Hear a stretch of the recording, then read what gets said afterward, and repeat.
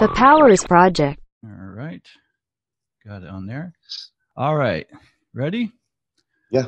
Three, two, one, and we're live. Russell, how you doing today, sir? I'm doing good. Thank you. Uh, We have some nice weather here in Oregon today. I bet it's nicer than ours. It's it's awful hot here. So, what could- what's the temperature there? Uh, it's in the 60s. Uh, it's been raining earlier in the week, but uh, it's in the 60s, moving toward the 70s, and um, that's good because I'm done with the rain. I have, a, I have a dear friend who lives out there, right across the border in Washington, there, and uh, and she travels to Portland, um, you know, on a regular basis because I guess the way the taxes are, she can go over there and yep. so, Yep. so she's uh she's very frugal like that. so, Oh yeah. uh, yeah. no, she she always talks about the rain and she can't wait for it to stop. So, Yep. well, I appreciate you joining me. Um, for those who don't know, um, you're a pastor of the church Right. called uh, Rivers of Living Water United Pentecostal Church of Sandy, Oregon, right? That is correct. Okay. Um, if you would, uh, the reason why I asked you to be on the show is because I saw you featured in a segment on um, Now This News, which I saw on Mhm. Facebook, and there was Okay. they were interviewing you because you were at one of your events at a rally, and Yeah. and I don't know who the guy was that was interviewing you, but obviously it was it had to do with um, there were you had gay protesters because apparently you know Yes. you talk about you know gay issues when you talk about as well as many other things which we'll delve into. Sure. and so when you were being interviewed i i got the sense that you weren't like some of the people i'd seen previously like the like the people from westboro baptist church who who are just you know hateful people. I didn't get that sense from you. But there were some things that you know that were kind of contradictory and so i wanted to have you on the show i wanted to talk to you and i wanted us to discuss these things and do so in a manner that where we're actually having a discussion not argument not a debate but a real discussion to maybe try to bridge that divide and see if we can come to some sort of understanding if so Mhm. that we can at least if nothing else respect one another's opinions So Mhm. that's why I asked you on the show. Um, Yeah. So thank you for, for agreeing to be with me. Um, Sure. It takes a lot of, you know, like some people don't understand how how brave it you you have to be to, to do this because you never know what you're what you're walking into sometimes. So, yeah. I agree. um, so being a Pentecostal, I don't know. Do you do you take the Bible literally? Do you the inter- literal interpretation of the Bible? yes. Okay. Yes. That helps now i don't the other thing i i really don't want to do i mean we might have to we may end up doing a little bit but i don't want to get back i don't want to get into a whole lot of scriptures because Okay. what happens is is that we end up coming down to interpretation of scripture sometimes and so you know you Mhm. could take one scripture and have 10 people and 10 people will come up with 10 different interpretations of that one scripture so while we may end up doing having to do that to some extent i i don't want to go tit for tat as far as you know well the bible says this and i go well the bible says this and that sort of thing because i don't think that's productive so tell me where you stand you know that when you do these rallies you you talk about all different types of topics like child sex trafficking healing from racism patriotism Mhm. pro-life you even talk about the election and, and law Yeah. enforcement so and Yeah. and you talk about uh, homosexuals obviously because it's you know Mhm. it's a big thing in the bible so tell me what is it like at one of your rallies what is your what why are you there what do you what are you attempting to do Sure. So in July, I believe it was, of last year, um, the general superintendent, which is like the um, highest ranking official that we elect in our fellowship, uh, sent out an email to all of us uh, that are pastoring, asking us to hold a rally on August the 8th was the eighth or the ninth. I think it was the eighth. Um, and if we could, in front of our city hall, for the purpose of standing for religious freedom. There's been a lot of concern about that subject.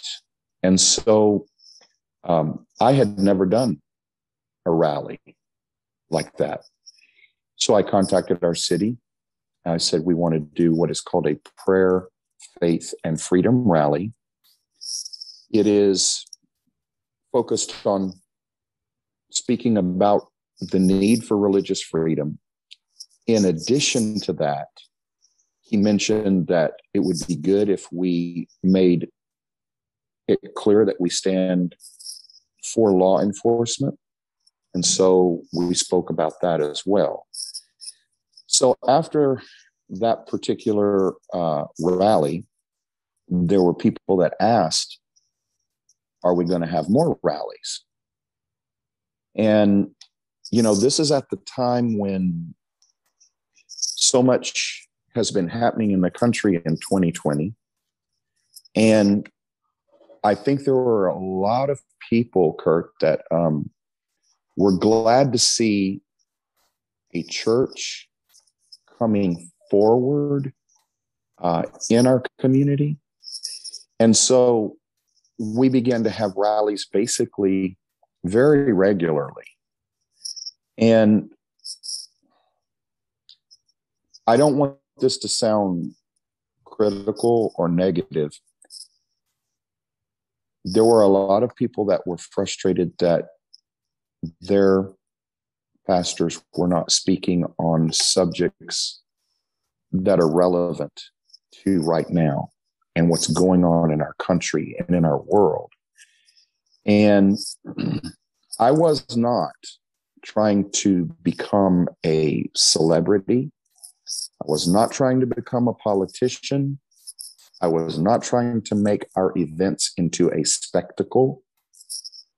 My true intent was to speak to our day, to what's going on, um, without, I'm going to say that filter of is this going to make some people view myself and the church as something out of bounds?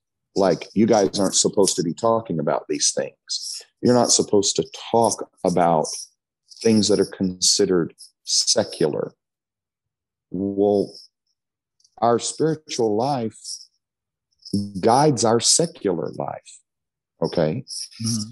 So, so I did not feel, and I don't feel that it is wrong to speak publicly about things that are of concern to our country and our world. So we addressed, as you mentioned, a lot of different subjects. Some of them are, in fact, political, social, cultural. It, it, it's trying to address the whole person, the, the whole experience of what we live. So that was really the the the starting point. When we got to the point to where the weather was really bad, we stopped having the rallies publicly out there in the square because of the rain and all of that. But then when the weather cleared up, the earlier part of this year, we went out again and we set up canopies in the, the plaza and um, and you know continued to invite people. Our our primary way of promoting it was through Facebook. I, I would post on numerous Facebook groups here locally um, just inviting people. And so people began to come again. And um, Russell, then. I'm sorry. Can I stop you just for a second? Because before we get on, because I want to get on to that. But before we do, I do have a question that popped up in my head. In all the topics that you talked about, you said that you also talk about political stuff. And that's one of the issues I've had with churches recently, where they've started talking about political things when mm-hmm. there's supposed to be a separation from church and church and state, and mm-hmm. and they shouldn't.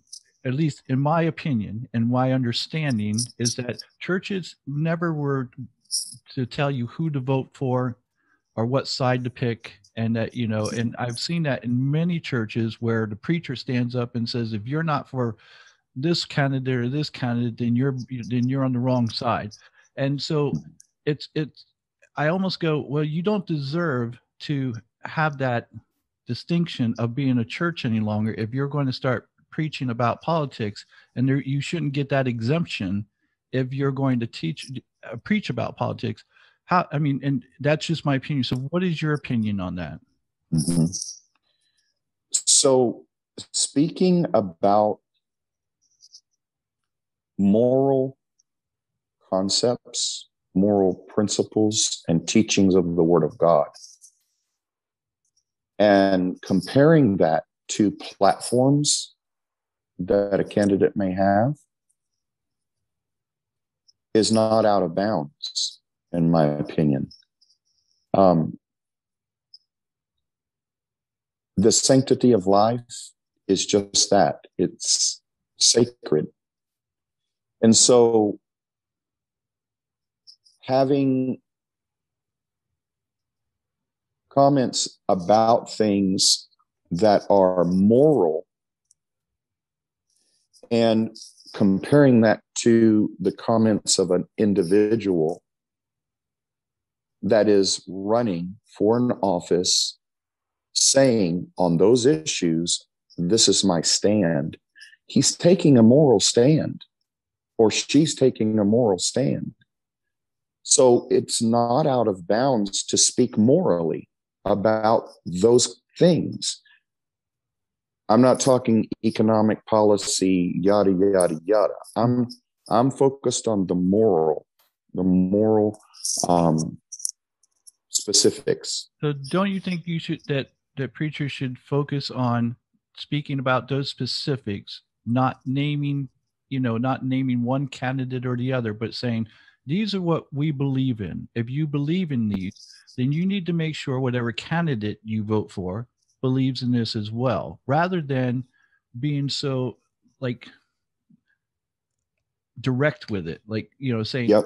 this is the guy who you need to vote for you know? I think that people should be should have a right to make that choice themselves and mm-hmm. figure that of out of course yeah of course. I i don't disagree with what you just said. I also think that there are times when directness is appropriate um, the scripture shows us a lot of examples where the spiritual leaders spoke to the governmental leaders directly.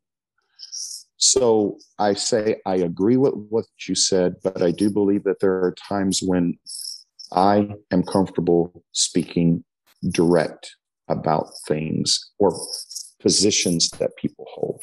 Okay because you know I understand. I, I, I do. I understand where you're coming from as well. So, okay. I, I, will tell you this though: it's hard to talk about politics and and and morals because there's so little of it in our political system that yep, it's hard to yep.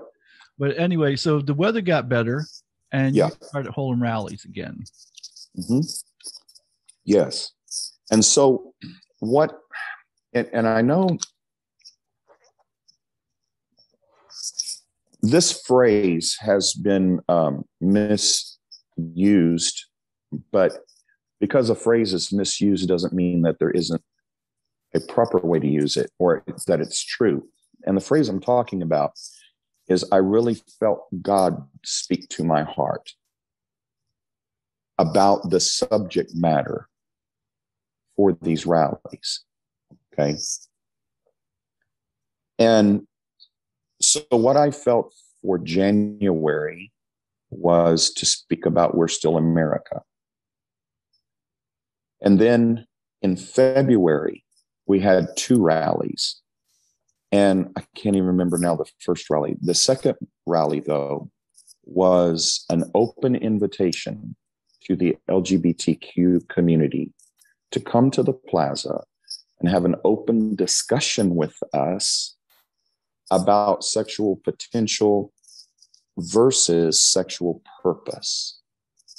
So you reached out the, to the LGBT. I did. Okay, so I absolutely did. So who who did you reach out specifically? Because what I wanted to do, and like I said, one of the reasons for this show is that I want us to um, to attempt to bridge the divide and and and have an understanding. Because I think on my side, we tend to call everything homophobic and that people hate us if they don't agree with us and i go that's not the case i people don't have to hate you to not agree with you and i don't right. think i don't think the majority of people hate gay people they just go okay this is my belief and i believe it's wrong but i don't hate you for it now there are mm-hmm. like i mentioned earlier people like from the westboro baptist church mm-hmm. who are who are filled with hatred that's all it is it's, there's no love compassion or understanding in their teachings whatsoever and that's what i found different about you um, and i and i know that you in in the interview i saw you in it said you said that you had reached out to them now I reached out to Sandy, Oregon to find LGBT. They don't have one. They have one in Portland. And so I, that's what I wanted to find the specifics. Like, did you just reach out to a few people who happen to be gay who didn't really have any say so in the gay community or? Right. So I used the exact same format for that rally as I had for every previous rally, which was just promoting it on the local Facebook groups that I had been promoting it on. And there were people in this area that knew about our previous rallies that every time I would post, um, there would be comments, right? So when I posted about that rally in particular in the exact same way, um, those same people were aware. Um, I did not contact a specific individual or individuals. I just promoted it like I had been. What happened was there was no one that came. Let me rephrase that. There was somebody, a couple of people maybe that pulled up in their car on the edge of the plaza and stayed for just a little bit and then they pulled away. Um, what we did the next month, and, and I'm just being upfront, I felt to reach out in the same way that we've been reaching out to the community previously to the LGBTQ community. Then I was like, okay, so March, I felt now celebrate the natural heterosexual family. It was just simply a change of subject matter or change of theme when I posted that in the exact same way, it went off the rails. It went berserk. Can I tell you? Um, okay, go ahead. So you're so one of the things I think that that Christians don't understand or don't get is that for for eons, gay people have been vilified They've been demonized. They've been called everything. They've been ostracized. I mean, they've they've been made to to feel like they're less than, told that mm-hmm. they're you know that they're going to hell. That you know, I mean, just I, I don't know if, if you can imagine just being beaten down constantly and being mm-hmm. made to feel like you're less than human. So when these people start to to gain some rights and they start to to exert themselves when they hear things like the celebration of the natural heterosexual family. Basically, what they're reading is you're saying heterosexuality is natural, homosexuality is not. And they don't mm-hmm. believe that and they take offense to that because you're saying this is good, this is not good. And that may be your belief, but that's how that's what they're saying. It's like you can have your belief. You can believe that you know the heterosexual family is the the nucleus that's the family that you should strive for but that's mm-hmm. your belief and to say you know to put it in a way that makes them seem like they're less than they would take offense to that. And and so it's probably just the wording more than anything else. And it was probably innocent on your part without realizing that. And and most street people don't understand because it's not something they've ever had to deal with. But it would be if you could imagine that 90% of the world is gay and 10% of the world is heterosexual and then all of a sudden you know you see something where you know come out and celebrate the natural homosexual family and you're and you're straight and you're like wait a minute what does that mean i'm not natural i'm not you know there's something wrong with me and mm-hmm. and so there's you know, there's that disconnect if you will and that and that's where that animosity comes from from deep from within because of everything that's been that's happened to them over the ages, you know, and being oppressed and kept down. And that's, and I think that's what you saw come out. I'm not justifying anything. I'm just saying mm-hmm. that gives you kind of an understanding why you might have seen that backlash in that particular thing. Mm-hmm. I would not disagree. And one of the things that was a very sensitive issue was the word natural. Yes, that's exactly. And so, right. yeah, so, and and and okay. My point was that is how humanity continues to exist. It's the natural union of a man and a woman that produces children. And God's plan is for there to be a Adam and an Eve with children. That is what I was saying. It is a natural heterosexual family. That's why the next generation and the next generation even exists. So that may I interject something here? Just uh, just to give you a different perspective. So I understand again, I understand where you're coming from. But I would argue that homosexuality is just as natural as heterosexuality. We see it in nature, throughout nature, with over a thousand species. We see homosexuality within over a thousand different animal species. And if anything, I look at it as like, is this part of nature where, where it's part of nature's population control?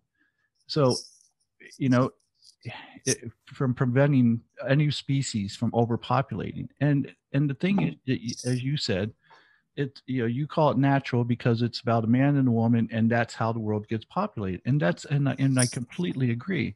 But you also realize that not every man and woman who gets married has children and they don't right. on having children. So right. to, so as far as marriage goes it's not it shouldn't be relegated to just just people who only want to get married and have children otherwise there would be heterosexual couples out there who wouldn't be allowed to get married either if that was a prerequisite. And that wasn't, I wasn't saying that. Okay. Because there are people, there are people who cannot have kids. Right. Or choose not to have kids. They just. Uh, right. Okay. So again, I was I was focused on saying, here is God's plan. Here that that's why I've used this phrase many times. Sexual potential versus sexual purpose. Now, and I want, and I'm glad you brought that up because I wanted to get into that. I want you to explain yeah. what you yeah. mean by that sexual potential versus sexual purpose. Yeah sexuality is natural. Absolutely. There isn't anything unnatural about God's design as far as making a man with a sexuality and a woman with a sexuality and a natural desire for sexuality. It, it is God design. So potential is the issue that really brings into play all of the various ways that we can express our sexuality. Does potential equal purpose? Purpose is here's here's why I gave you potential so that you could fulfill this purpose. So when you look at Adam and Eve, they had the potential to fulfill the purpose, being husband and wife, having children. And again, I recognize not every couple can at this point, but I'm trying to go back to God's design. Okay. Mm-hmm. And and rel- really relatively speaking, I would I would venture to say that the majority of heterosexual couples are capable of having children. Oh yeah. So.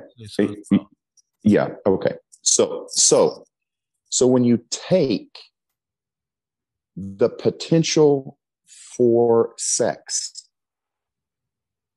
and you view it that it has a purpose, I'm not going to say that having children is the only part of that purpose but it is a very core part of that purpose. Intimacy, affection, care, vulnerability, commitment, trust, kindness, serving. There's a lot that goes into sexuality when it follows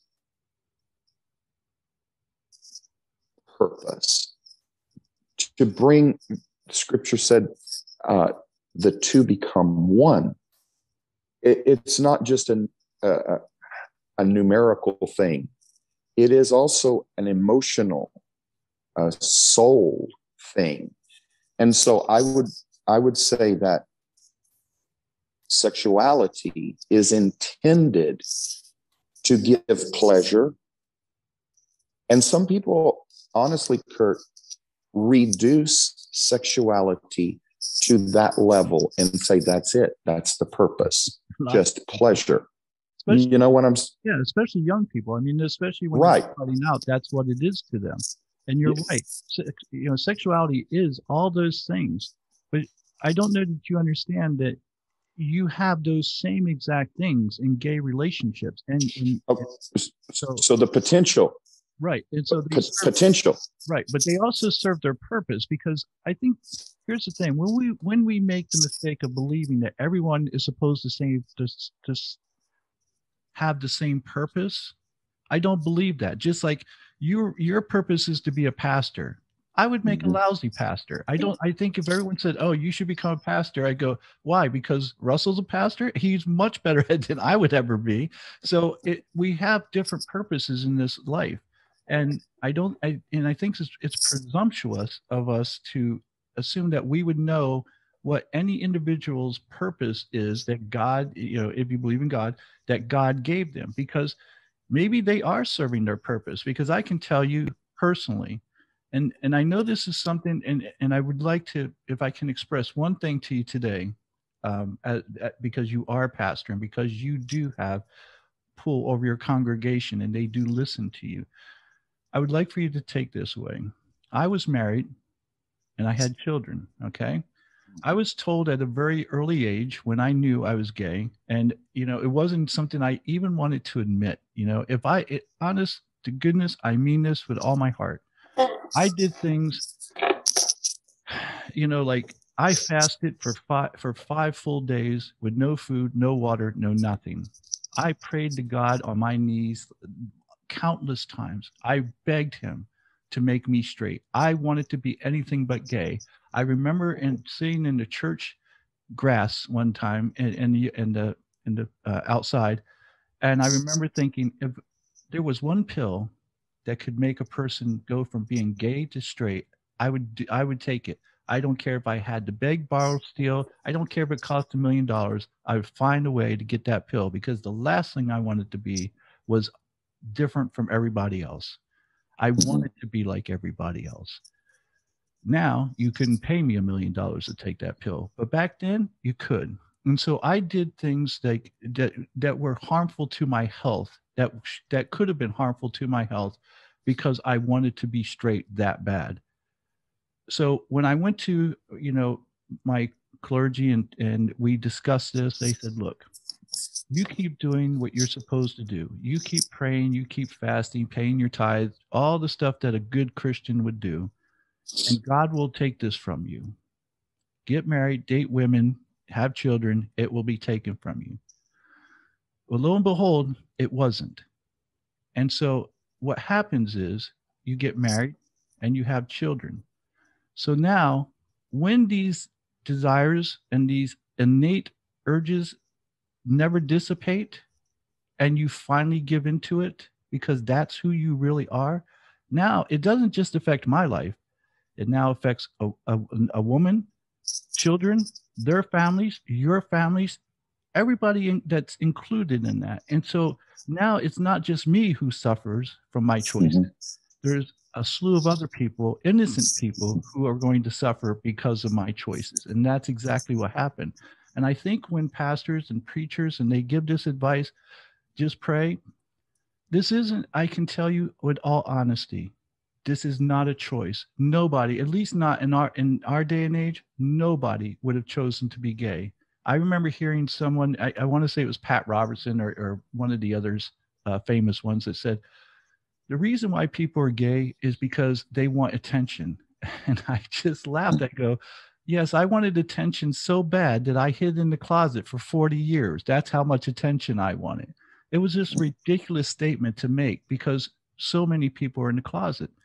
And when you aren't able to express who you truly are, this is what happens is that other innocent people get brought into it and hurt in the process. So your description of your your struggle is absolutely real and I don't deny it because we all have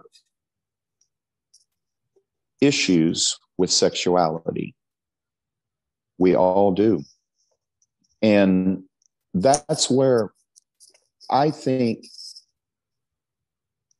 many times people feel that the church should not speak about these things because it's like so personal, it is so private. Um, that it makes people uncomfortable. You know, we all kind of get it. You know, we're going to, you know, get married, have kids. We know how kids are made, but we're not going to talk about sexuality very much because this is church and we're not going to. God talks about sexuality a lot in the Bible. And that is why I believe the various sexual potentials are addressed in the Bible. He speaks about adultery, he speaks about fornication, he speaks about bestiality, he speaks about rape, incest, he speaks about things that are horrible.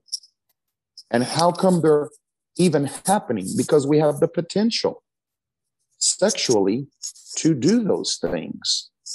Is that our purpose? No, it is not my purpose or your purpose to be a rapist, a pedophile, whatever.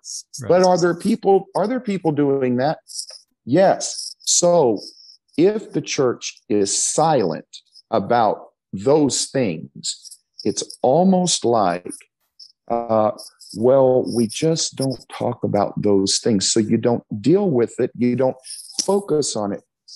And when you don't focus on it and bring it up, then it gives room for it to just go whichever direction.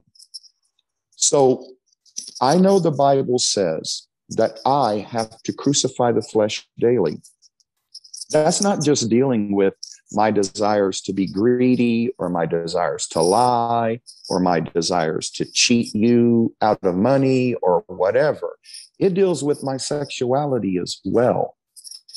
And sexuality is such a core part of who we are. If we're honest, it is on our mind so much every day. At least that's what it is. I mean, every day. Without a doubt. It, it, that, yeah. And I think that's why God speaks about sexuality so much. So when you describe your struggles, okay, I'm not trying to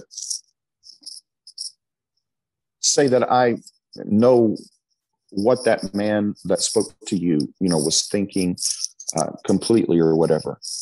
I do. I know how I view what you described. You, me, every person needs the help of God. Prayer, yes. Word of God, yes. Faith, yes. The indwelling of the Spirit of God to enable us and to empower us, yes. Me turning from those things that I realize God says this is not his purpose or plan for me. Yes, that's me. There's the God part, there's the me part. And I hear you saying you struggled. I hear that. I'm not denying that. I'm saying we do struggle with our sexual potential.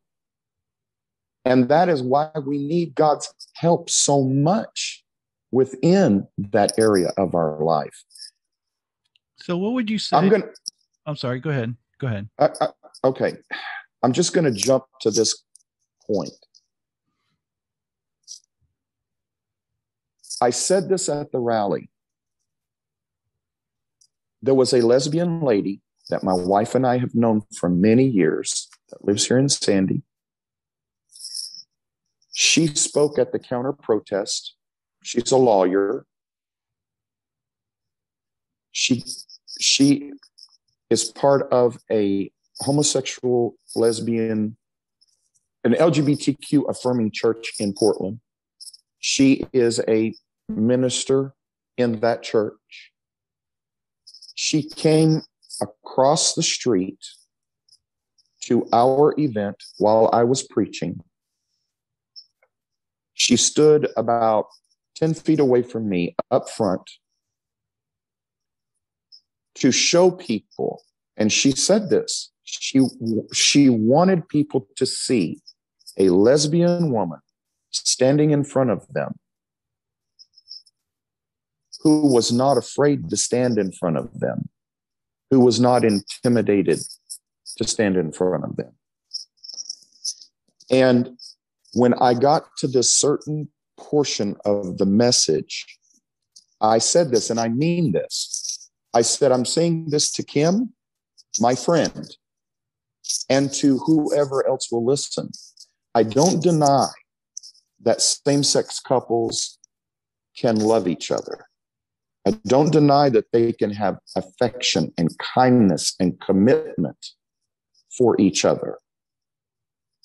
But love does not qualify what God endorses. What qualifies what God endorses is righteousness. And when we find scripture that tells us what is and is not righteous, that's the qualifier because she was representing and does represent, as many others, that love is the issue. I don't deny love, but love isn't the qualifier. The Bible says men love darkness and they didn't come to the light because they love darkness.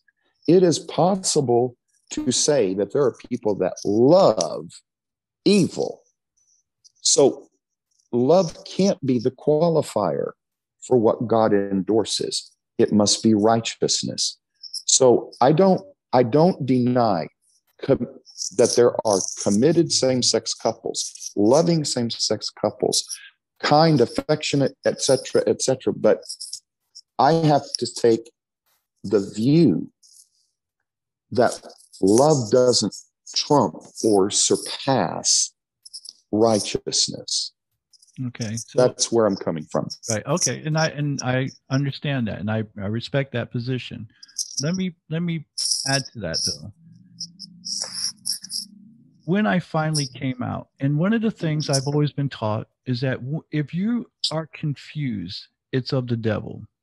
It's only when when things become clear that that's of God, because God will not confuse you. I am going to tell you I mean, it was it was an epiphany to me, and this is what my experience was. I'm not saying this is what it was for anyone else. I'm saying this was my experience. Mm-hmm. Is that as soon as I accepted who I was and came out, it was like the weight of the world was lifted off of my shoulders. And I remember thinking, why? Like, why? And I heard a voice in my head now, you call me crazy, whatever, but I heard a voice in my head. Did it ever occur to you that the things you were asking me to do were not the things that I wanted for you? And it was at that moment I realized that what God wants for one person isn't what he wants for everybody. Now, you know, you could I believe there are certain rules. You know, we have the 10 commandments, for instance, that say, you shall not do these things. Those are hard pressed rules that I think probably apply to everybody, you know. Um, but I there's there's certain things in the Bible because again, uh, I will say this: the Bible is is um, loosely interpreted. In, interpreted. I will say that, especially if you follow the King James version, they they took some they took some extreme liberties and and the translation of Hebrew to English and, and Greek to English. And I studied this for for a few years. You know, I I've gone over scriptures where, you know, where it talks about uh, the Virgin Mary. The direct translation from Greek to English is not that Mary is a virgin; it's that she wasn't married. Now, you and I both know that's that's completely different, or it can be hmm. very different. It may not be, but it, it certainly could be. And so when we have these when we have these translations that are that have been certain liberties have been taken with we can go through the scriptures and that's why i said i really don't want to get into the scripture thing too much because i could i could argue with you all day about how you know how certain you know, scriptures especially in and uh, Leviticus and Deuteronomy, how these things were were not translated properly, and this is what I think it means, and you can say, well, I think it means this, and so it really doesn't serve a purpose. But I do believe that, you know, that you're right. We have a we each have a purpose, but I don't think our purposes are all the same. And I and I and I know that for a fact. I know that personally for myself and how I felt. And it's not, you know, it's not for me to testify before you that I'm right and you're wrong or you're right and I'm wrong. It's it's to say there are differences. And and one of the thing is is that when you talk about homosexuality, you, you, whether you realize this or not, you automatically went to pedophilia, bestiality, and other you know uh, abnormalities.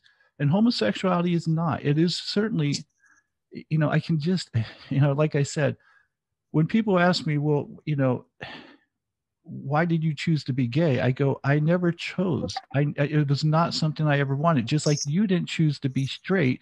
No one can. Re, not one guy I've ever asked this to go when was how old were you when you decided to be straight and they're like what i, I didn't exactly i didn't decide to be gay as, as sure as, as you it wasn't even a question in your mind as to that you were straight i knew i was gay i didn't know what it was i didn't know what it was called and i didn't know what it m- meant i just knew i was different from other people but it was never a question in my mind as far as is this who i am? I knew it was who i was.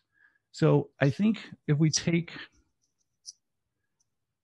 a more uh, understanding approach to it and and if straight people could understand that there's you know it's just not a choice. I know that it's easier to believe that because it makes it look like god didn't make a mistake and i'm telling you he didn't gay people are not a mistake let me let me try to add something there mm-hmm.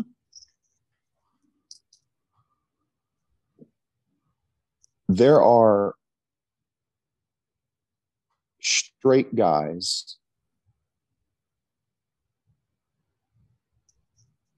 that view sex with women as their only interest. They don't have any interest in anyone other than a female. Right.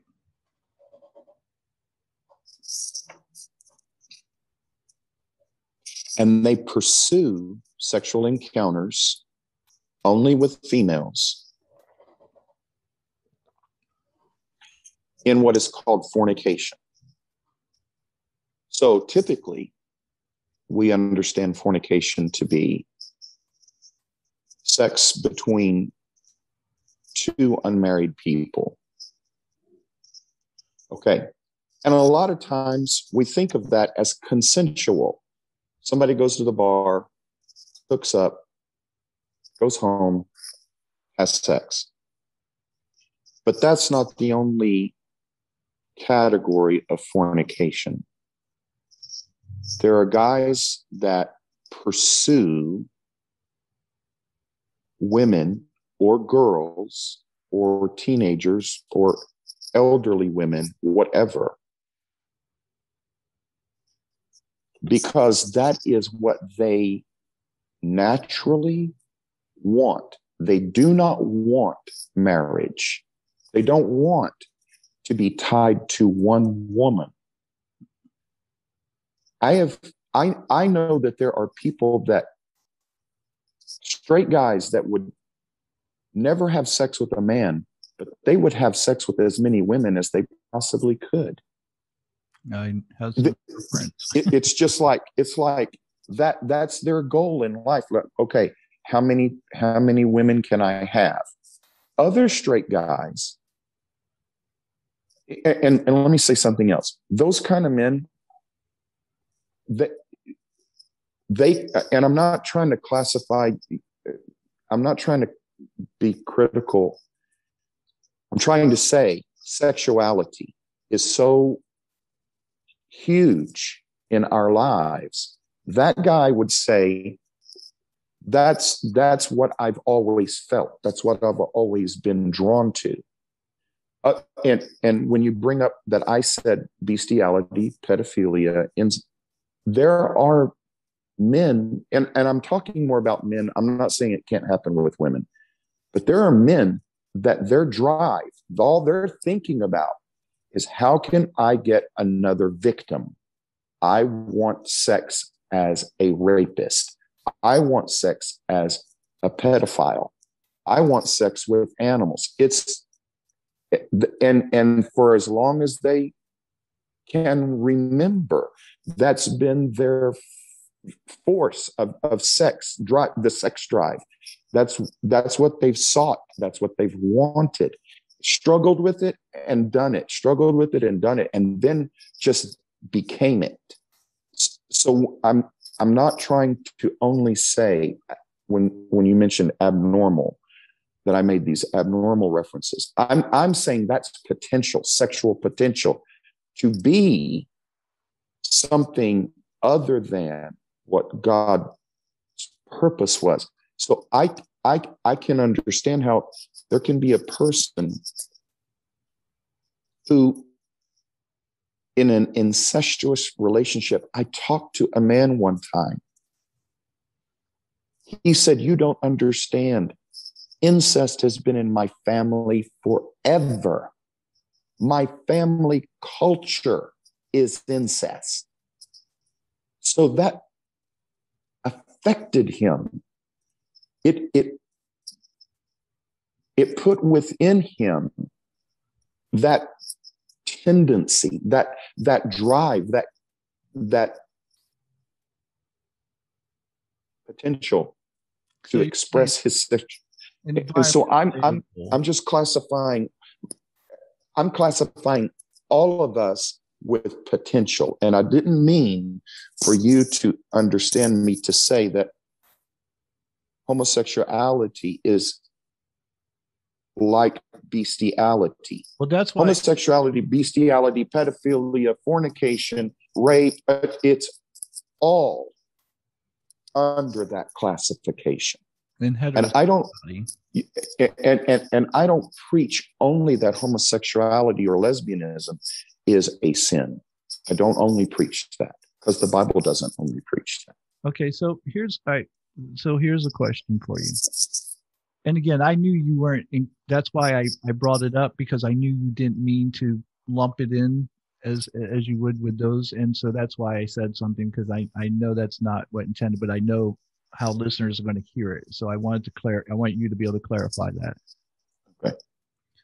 So you have 10% of the population roughly is what we i guess it's estimated at that 10% of the population are homosexuals and yet whenever you you or any other pastor or, or preacher goes out and has rallies or events homosexuality and abortion seem to be the two biggest topics i would mm-hmm. say okay if your if your purpose is to serve your congregation is is to help them live better lives wouldn't you be better served to focus on things like divorce since there's far more people who are married and get divorced than there are homosexuals? So but we never hear about rallies that talk about divorce and i and because and this is my belief and you can correct me if i'm wrong because it points the finger at the very congregation that you're preaching to. It's much easier to to find flaw, uh, fault and flaws in people that they're they're not like.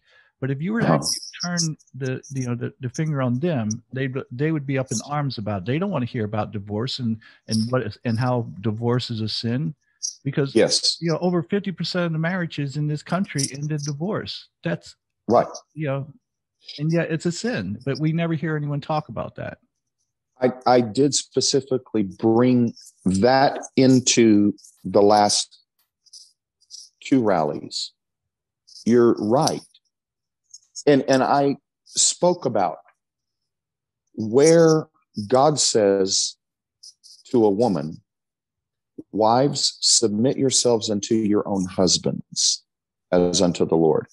That verse right there really is saying wives voluntarily cooperate with your husbands. Make that choice that you're going to bear the responsibility of the marriage with him voluntarily just like you voluntarily submit to the lord and carry that burden of living that way to the lord. And then he hammers men men love your wives as christ loved the church Love your wife. If a man who loves his wife is loving himself, I mean, he hits men hard on here is how you treat your wife. Here is how you live out with your wife this purpose. And and you're right. The divorce rate is horrendous because of the day and age that we live in, Kurt, where commitment is such a shallow word. I mean, dude, the, the, the, I've been, okay, I'm 59 years old. I've been married to the same woman the whole time I've been married.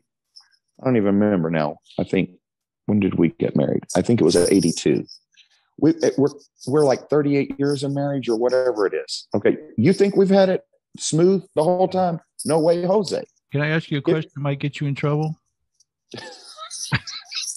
Should I wait? I'll wait. I'll wait. I'll I'll do it after the show. Let me just say this. Let me just say this. Sure. Commitment is not easy. It's not. Commitment it costs. It costs. And and and and i'm not trying to throw this on you. You described your background. What i'm saying is in general.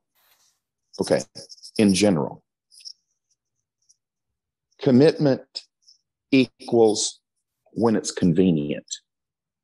It's like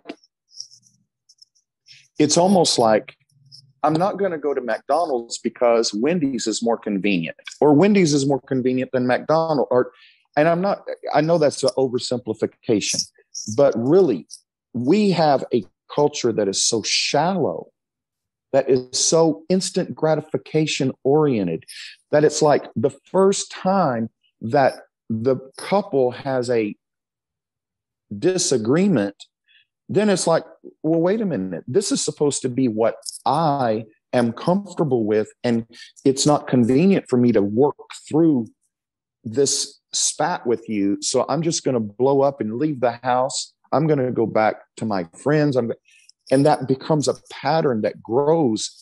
And, and, and the lack of commitment deteriorates even further. And so divorce becomes the go to because of the shallowness of commitment in our culture, in the individuals. And, and so you're, you're right as far as why isn't there more preaching about divorce being an issue? There needs to be, there should be. We do speak about that. And what I'm saying is it, that should be a bigger to me that should be a bigger issue because it's a it's at least according to Christianity and the Bible it's a much bigger problem. It, the the amount of divorce that's going on compared to the amount of gay people we have, it, you know, it, you look at the problem and you go, when it when it affects Christians, I would say if you're preaching to your to your congregation, they need to hear more about, hey, divorce is a sin. Unless, mm-hmm. unless your spouse has cheated on you, you mm-hmm. divorcing mm-hmm. someone and getting married to someone else, you've committed adultery. And adultery mm-hmm. is one of the top 10 commandments. It's one of the big mm-hmm. things that you're not supposed to do. Absolutely not do for, for everyone. Um, yeah.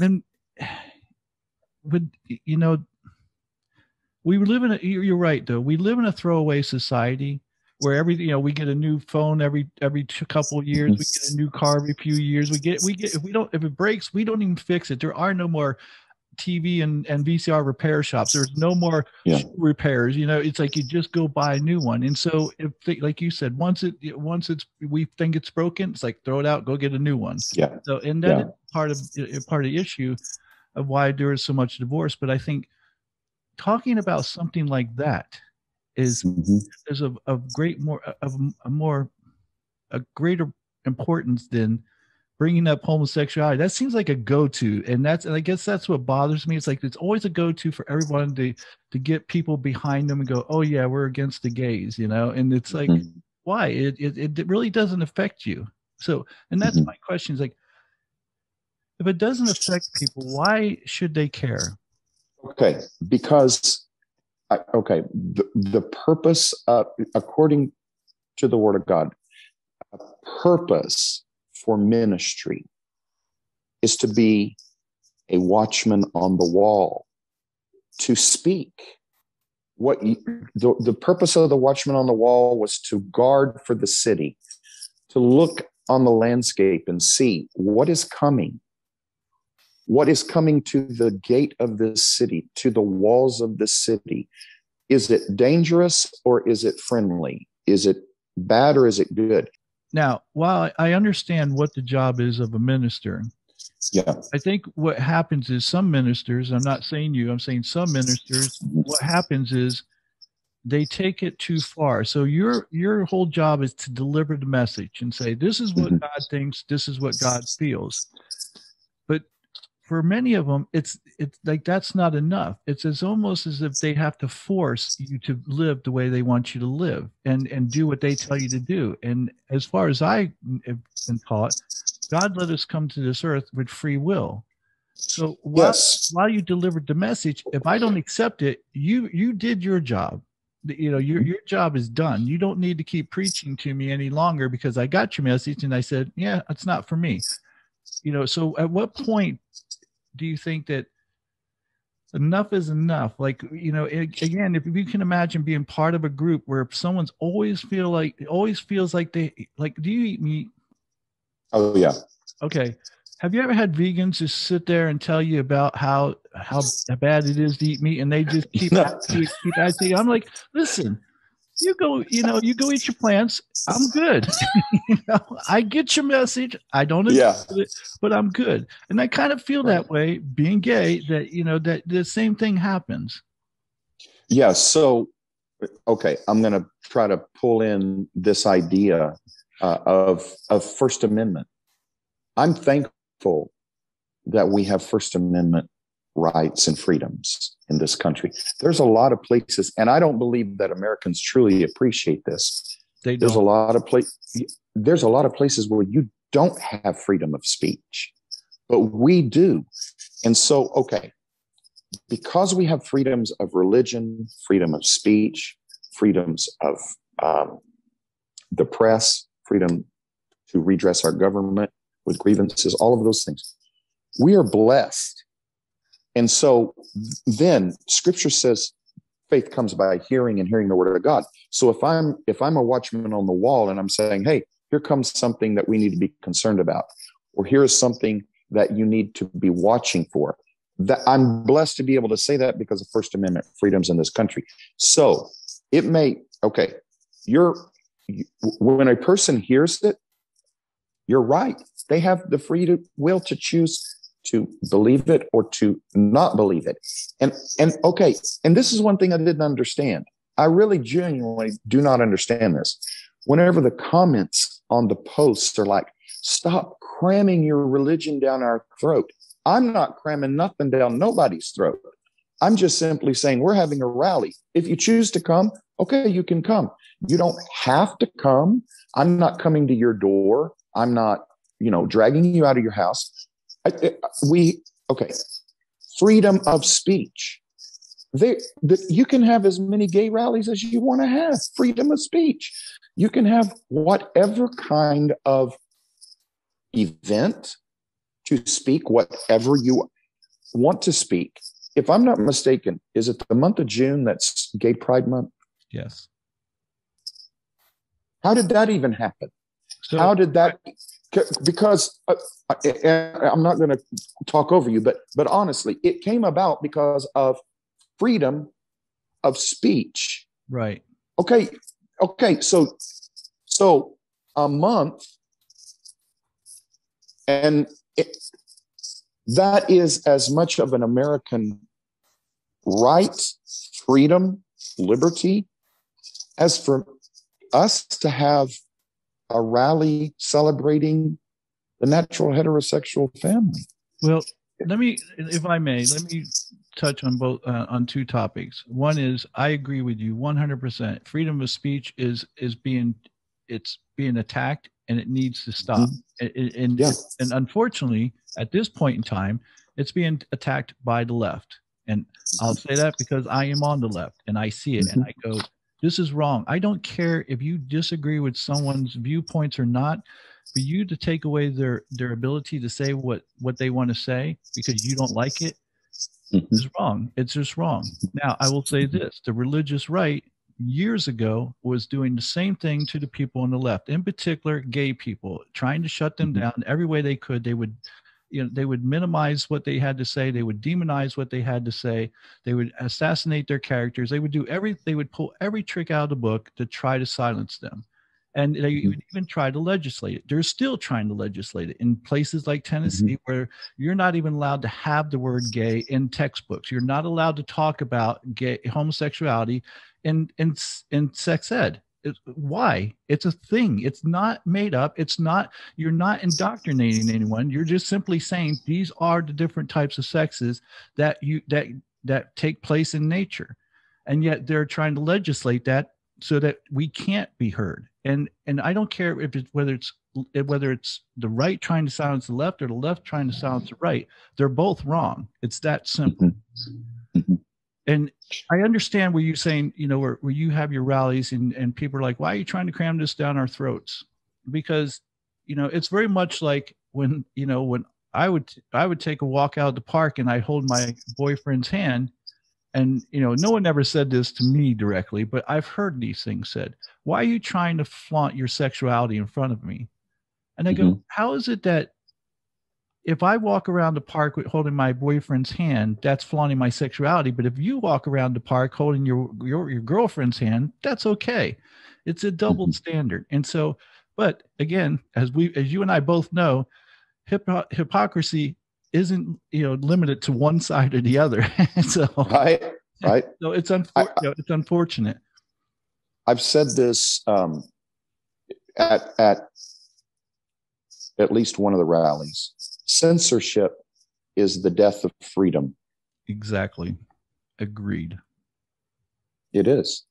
So so like right now, you and I view our sexual purpose.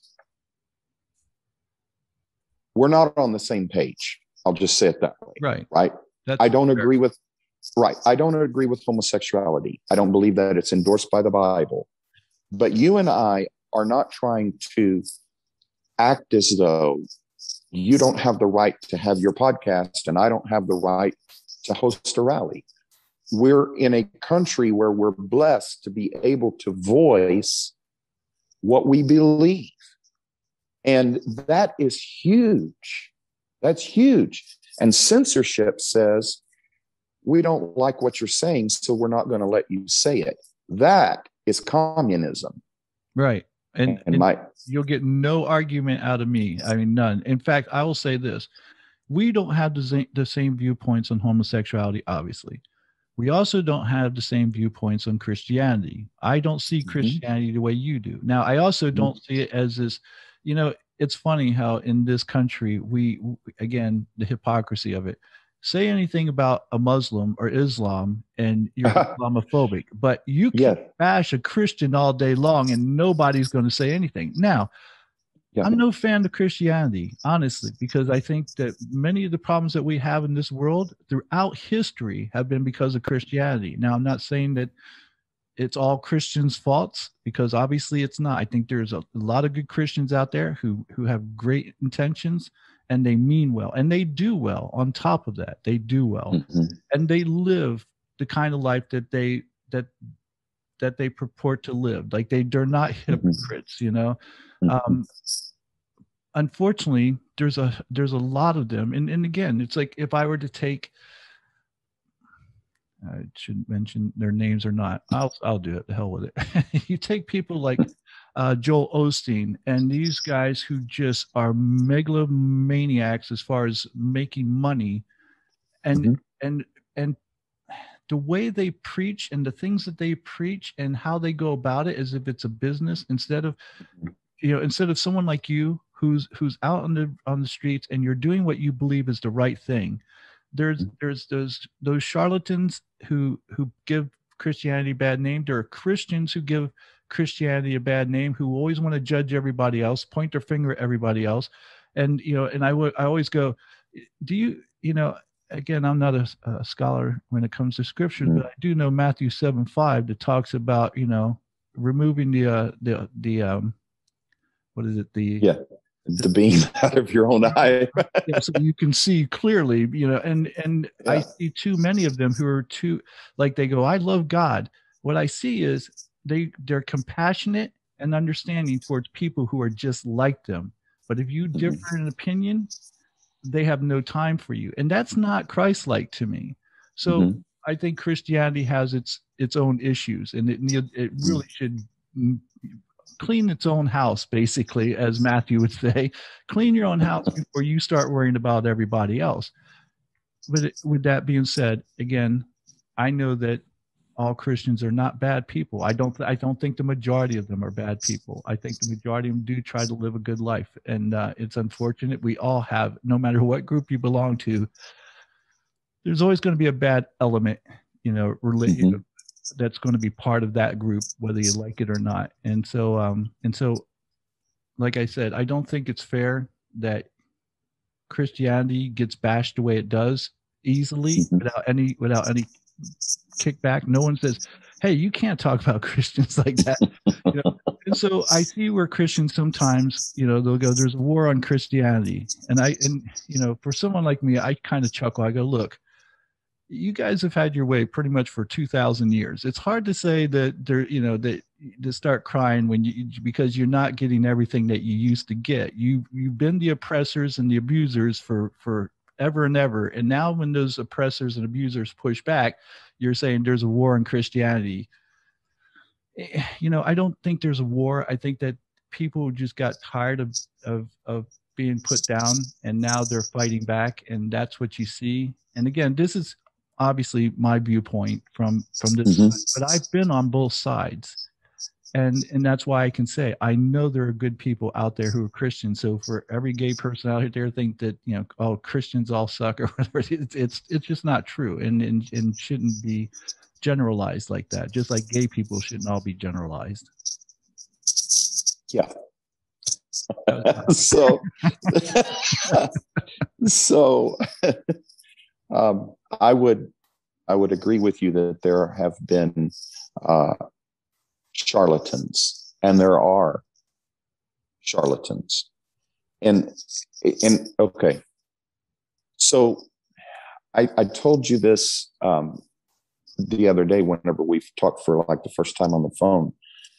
I told you that I'm passionate when I preach, but I'm compassionate when I talk to somebody. Because, Kurt, the honest truth is, I came to this. No, I, people aren't just born in this and know everything and live perfectly. We come to this. And so I don't always um, preach the same way, but there's many times when I'm very passionate and intense, and that offends people. Not everybody, but there are people that get offended because I lift my voice. And okay, and so here's here, it, and here's the deal. I know that that is not going to be received well by everyone but if I am performing for people, then I'm not fulfilling the purpose that I have. I can't. I'm, and I know the whole thing of politically correct or whatever. If I worry about, wait a minute, am I going to be within the realms of political correctness? I'm more concerned about how I'm performing than how I'm following the word of God or preaching the word of God. And so I'm not going to say that everybody that lifts their voice says the right thing. But why is it wrong for, I'll use me, why is it wrong for me to lift my voice in the public square? But it's, it's wrong for me to, to be passionate. It's wrong for me to be whatever, you know, but it's not wrong for someone who isn't Christian to lift their voice about a cause or a purpose. If if they're if, and I'll just use an easy one, an abortion activist can get very intense, can be very passionate. You know, I mean, they can do all kinds of stuff. A BLM activist, a it, it, there's so many examples where it's okay, but then oh wait, there's that crazy Christian preacher. Okay, so, it, it, right. So it, if I can, I'm I might be able to answer that for you. There isn't anything wrong with you being passionate. I get accused of the same thing, especially with my best friend, because we'll talk about topics and he and it's not that he disagrees with what I'm saying, but when he asks me something, I'll start talking and I get very passionate about it. And Mhm. it's not because he's in and he goes, Why are you raising your voice? I go, I'm just passionate. Like I'm not even upset. I'm not mad. I'm just very passionate about whatever topic it is that I that I get like that with. And so people misunderstand passion Mhm. it's not wrong to be passionate. It is not wrong to say what you have to say. I feel, again, this is my personal opinion. Unless it has unless you're what you're passionate about and what you're preaching is hatred. And that's not what I that's not what I get from you. And and I don't care if you're on the left side or right side. I don't care if you belong to Antifa, BLM, if you're uh, an abortion activist, if if your if your whole purpose is to cause division and hatred, then you're you're you're not the messenger that should be speaking for that particular topic or that particular issue. If you're not able to be compassionate to the people that you're addressing, I would say mm-hmm. you probably need to take a step back and go, Am I the person who should be delivering this message? Because again, regardless of what side you're on, is but in particular as a pastor, I that's why I wanted to talk to you because I felt like you did have compassion for the people you were talking to. You may not agree, and I even would I get a sense when you with you and I talking that you're compassionate to me. You don't agree with me. I'm compassionate to you. I don't agree with you, but I respect you. I understand where you're coming mm-hmm. from. And mm-hmm. and the chances are I would never ever agree with you. Your Chances are you'll never ever agree with me, but I can still respect you and still be compassionate towards you. I don't have to hate you. And this whole this mm-hmm. whole idea that we have to hate people that don't agree with us is ridiculous and it's it's only come about you know in the past couple of decades where we started mm-hmm. acting and behaving this way it's like if you're not with us you're against this type of mentality. I won't tell you who said that first but you're aware. But anyway it's that kind of mentality that hurts us because then we can't have open dialogue. And and one of the other things i want to tell you is that what makes it right and what makes it wrong is whether you're dishonest or not. And if you're being honest and you're coming from a place of honesty in your heart, I don't see the message is wrong. I again, I don't have to agree with you, but I get why you're why that's your message and why you feel the need to to deliver mm-hmm. that message. And people that that it resonates with will be glad they heard it. People it doesn't, you don't, you know, it's like I I can go, oh, there's that guy, you know, that crazy. Yeah. yeah. right. right. that's that's still even being civil, actually. Right. I mean, be, because and, and, I'm not trying to cry in my milk here, but you know, I I, I shared with you um, that our church was vandalized. Um, the pictures, I don't know if you saw them, but yes, I did. I, and I, and okay. I want to say I do not agree with look, I don't ever believe in violence unless it's met with violence. If if someone comes at you with violence, then you have all the right in the world. But to vandalize someone just simply because they didn't like what you had to say, yeah, sorry, and that's not civil. That and not. this is a truth before God. I mean this. I have never said we need to be violent against LGBTQ people. I have never tried to incite violence or hatred. What I have said is here's what the scripture says this is the way we should live. That's the beginning and the end of the story. And I have said there are things that have been coming against our society. There's been things that's been coming against the family, etc., etc., and it's a spiritual warfare. And I do speak about warfare, spiritual warfare. I'm not talking about physical. I'm talking spiritual, spiritual warfare. The Bible has a great deal to say about that, and and and the idea. Okay, this is this can be easily misunderstood.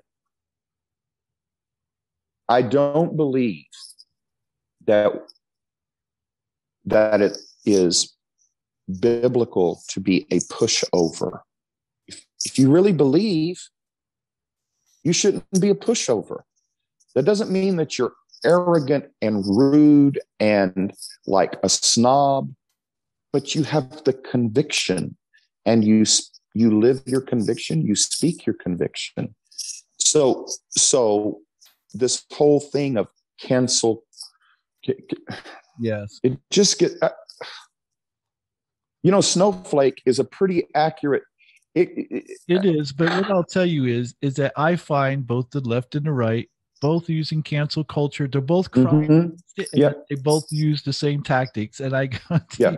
you know when yeah. ever going to stop with this nonsense yeah seriously so like you and i are i'm just going to say this you are, and I are an example on just a person to person basis of what we actually did at the rally because on the 20th of March.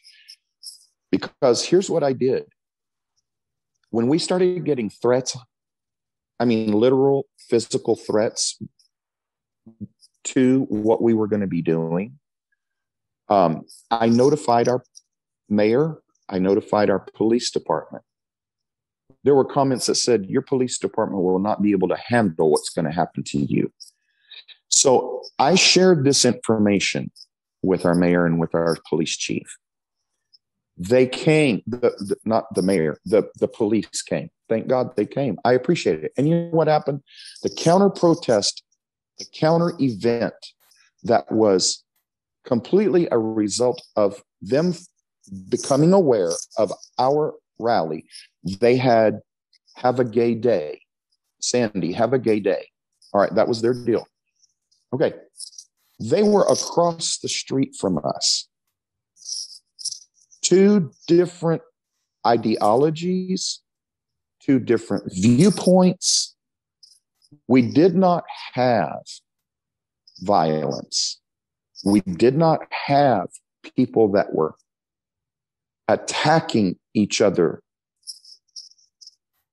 I'm not going to say that there wasn't some verbal stuff that happened on the outskirts over there. It wasn't me. It wasn't the people in our congregation. Okay. There was some verbal exchange. But when I told you earlier that this lesbian woman came and stood in the front up there, she was not cussed out. She was not screamed at. She was not railed on. She wasn't accosted. She wasn't told, get out of here. We had civil interaction. And I posted afterwards, I said, I thank the police department. I said, our city has just become an example of what America is supposed to be, where you can have two different ideologies across the street. That's America. Right. You and I, th- this is America. Thank God we can do this because it, you're going to influence people, Kurt. I'm going to influence people.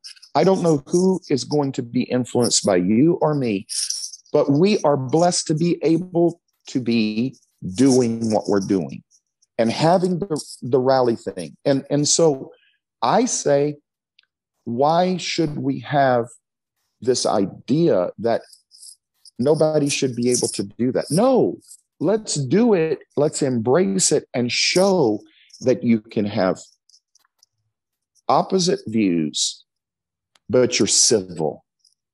You're civil. I think because no matter what side you're on, if you let the other side speak, you're going to go, you know, people are going to see it for the, mes- the message for what it is. That's why with the Westboro ba- Baptist people, I said, let them speak. Because when people listen to them, they're going to know who and what they are mm-hmm. by their actions mm-hmm. and by their words. So you don't have to shut them down. If you shut them down, then what happens is people can only imagine what they're saying, and then they're going, "Oh, right. there must be something to it," or else you wouldn't try to shut them down. You know, we have, you know, just you know, like with uh, Gay Pride Parade and other events that we've had, you know, we always have the you know the people from I don't know where they're from to be honest. I don't want to say they're from some church or something. But yeah, like, bags are going to hell. You know, the, the with the bill with the uh, poster boards. Yeah. So you know you're going to have the counter you know um, rallies or to counter people who are going to stand across and and and you know try to be seen or whatever to anything that we talk about. And I don't care. I guarantee you, if we talked about eating meat, vegans would out, be out there. And you want to talk about a group of people? They're meaner than anybody. i have I've spoken with some of them. They're, I go, you know, if you ate some meat, you wouldn't be so mean. but um, yeah.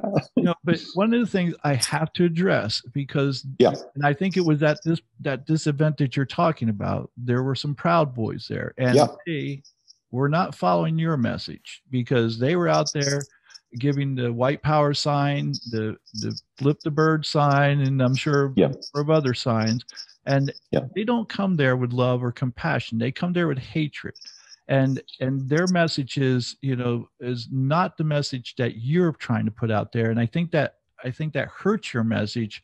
I know you can't control who comes to your rallies but would you would you um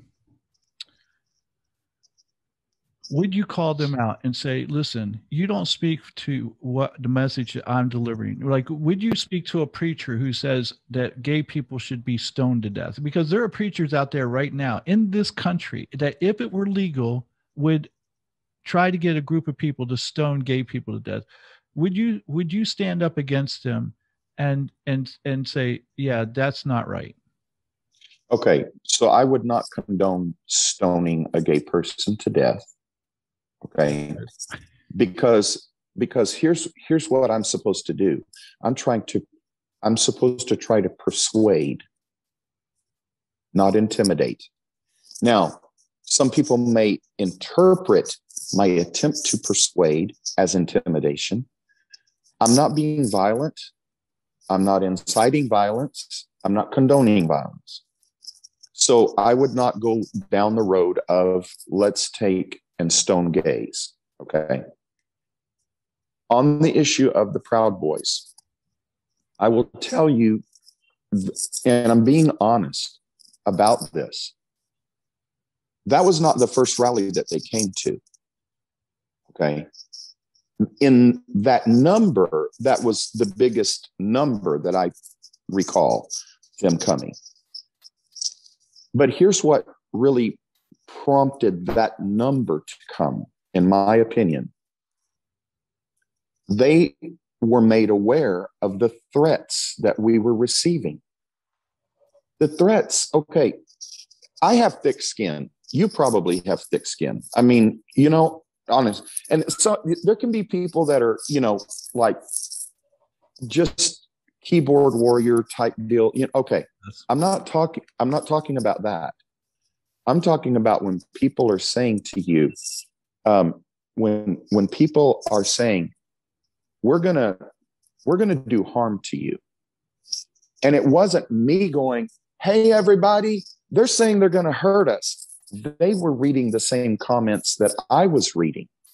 And so here is my understanding of their reasoning for coming. They wanted to stand to protect our First Amendment rights. I had them tell me, we don't necessarily agree with what you say, but we're here to make sure you can say it. I appreciated it. Now, I shook their hands.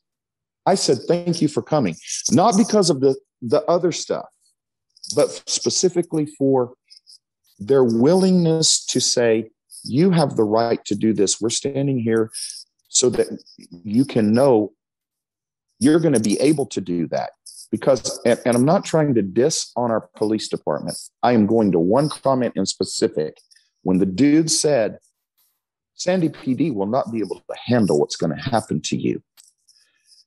Okay, so I uh, that, that's point number one. I didn't invite them. Was I aware that they were going to come? Yes. Did I send out a message for them to not come? No. Why? Because I appreciated their support for the First Amendment rights. If you had a coalition of gay men and lesbian women that said, Russell, we're going to come to your rally and stand there and make sure that you are protected. Your First Amendment right is protected to speak what you want to speak because there's been a threat from Muslims. Let's just use that as an example. I would shake your hand and I would say, Thank you for standing here for our First Amendment rights. Okay. Now, that's that's point one. Point number two.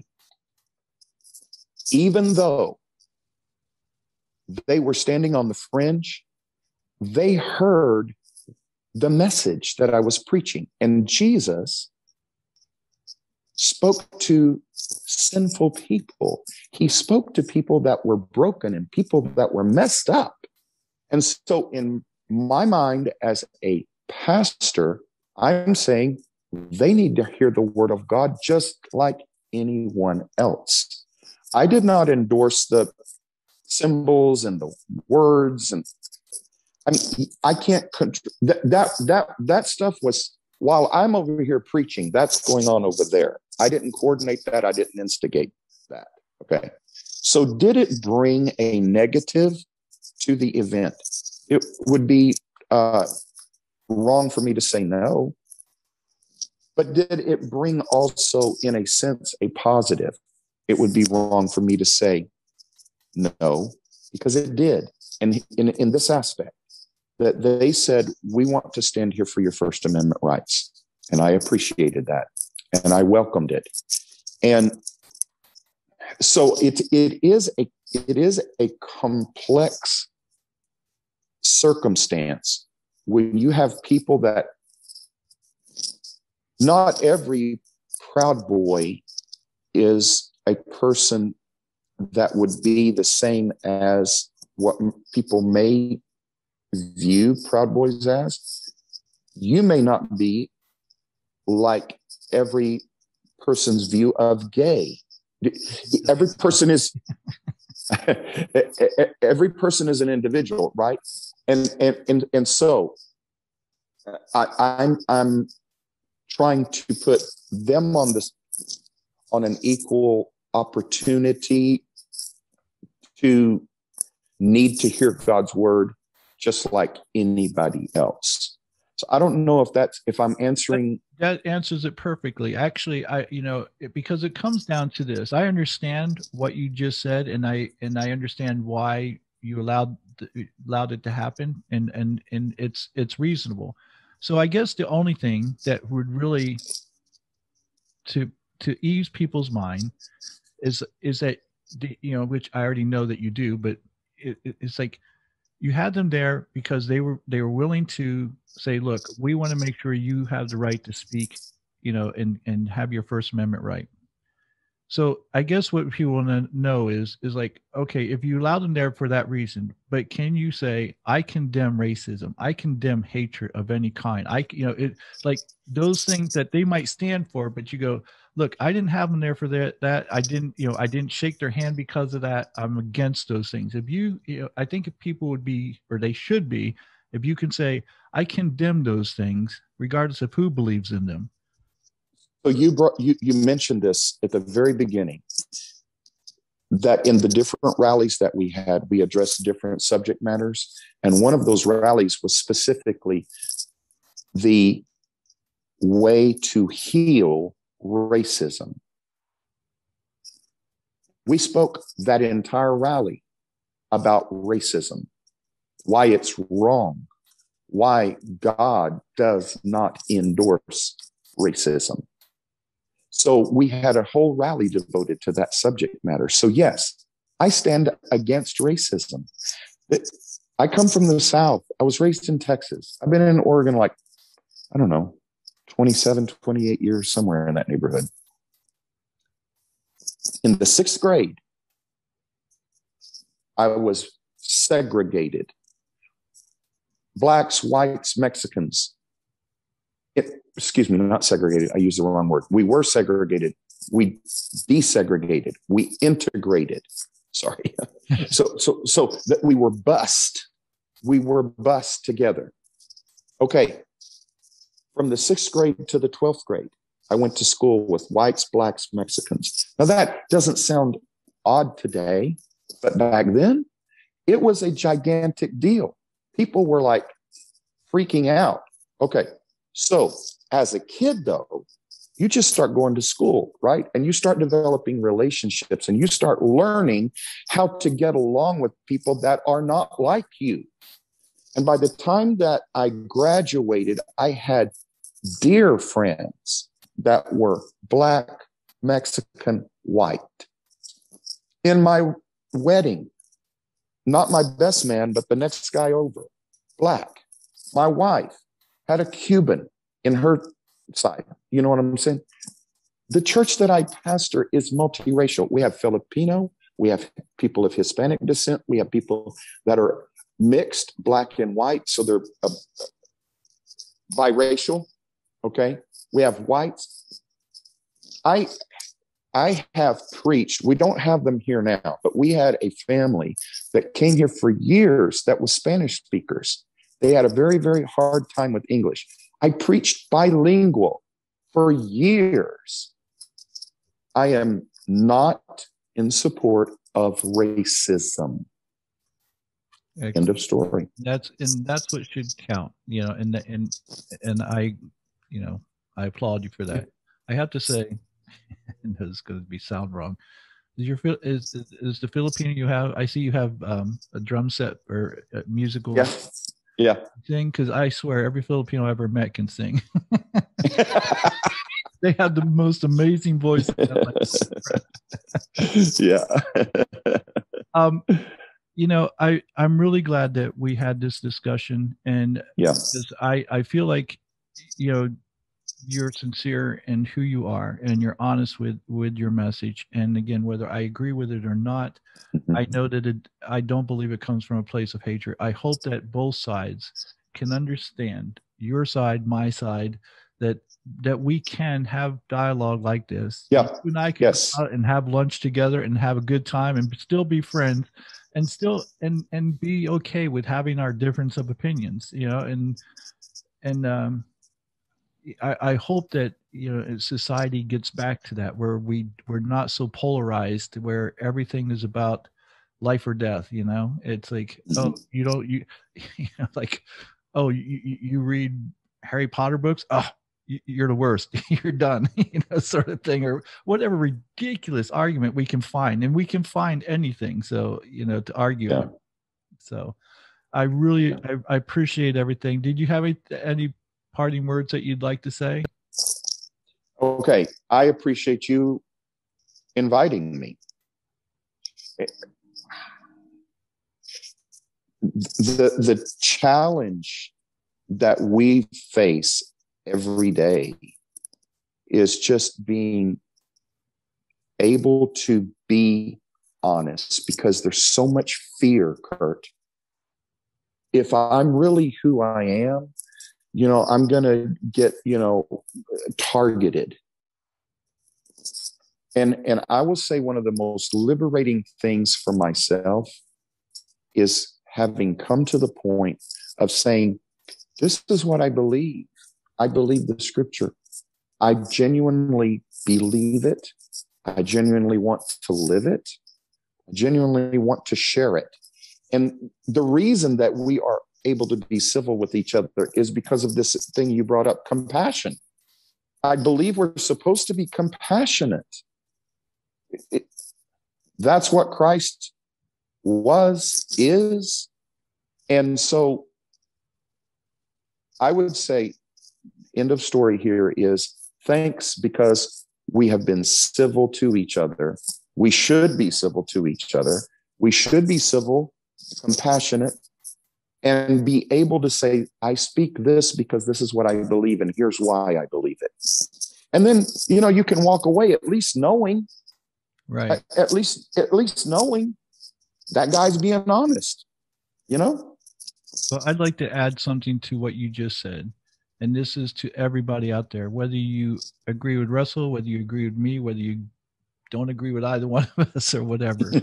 if you if you can't be compassionate towards the people that you are addressing, then you're in the wrong. I don't care what side you think you're on. I don't care if you think that your side's right. You're wrong because if if you have no compassion or love for the person you're talking to, then there's a problem and it's it's you honestly. So, um, you know, there's a there's a gentleman who I just adore. His name is Dr. Dennis Kimbro, and he said something that that you know stuck with me. You know, for the past. Well, I mean, I've I've known it, but when you hear a man like him say it, it, it just like resonate resonated with me. He said, "Don't ever, ever, ever compromise your integrity." Mm-hmm. And I think that if we can be honest, and I, I've said this a few times. If you can't be honest with yourself, you can't be honest with anyone else. Mm-hmm. And if you're doing things that compromise your integrity, you're not being honest. How can you be honest with anyone else? How can you have a discussion with anyone else when you can't you can't have it with your with yourself? So mm-hmm. if you're having a problem with people, you might want to look inside and see where if it, that problem lies with you. So yeah. Thank you right. so much. You're welcome. Thank you. All right, Russell. Take care, folks. Thanks for joining us. I, I hope you enjoyed this as as much as uh, I did, and I hope Russell enjoyed it as well. And uh, until next time, take care, be safe, and as of still right now, wear your mask.